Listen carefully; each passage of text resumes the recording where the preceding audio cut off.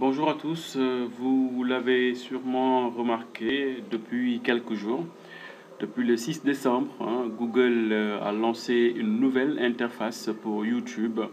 Contrairement au design précédent, donc le site de partage de vidéos ne propose plus le banderole de Google permettant d'accéder directement à l'ensemble des services euh, de la firme, c'est-à-dire de Google. Par ailleurs, la nouvelle interface se veut plus épurée, donc laissant la part belle aux chaînes auxquelles euh, vous êtes abonné.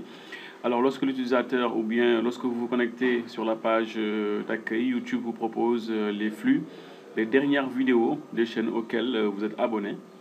YouTube également vous propose des suggestions de vidéos ou de chaînes selon donc les chaînes ou les vidéos regardées.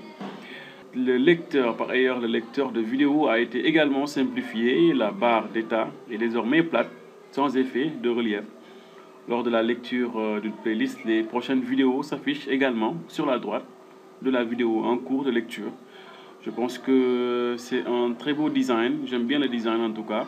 Et YouTube euh, va, comme d'habitude, euh, avancer. hein, et c'est très joli, en tout cas, personnellement.